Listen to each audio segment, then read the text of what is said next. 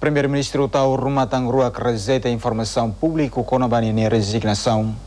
Tu irmãita acompanha a declaração do chefe governo Tau Rumatang Ruak.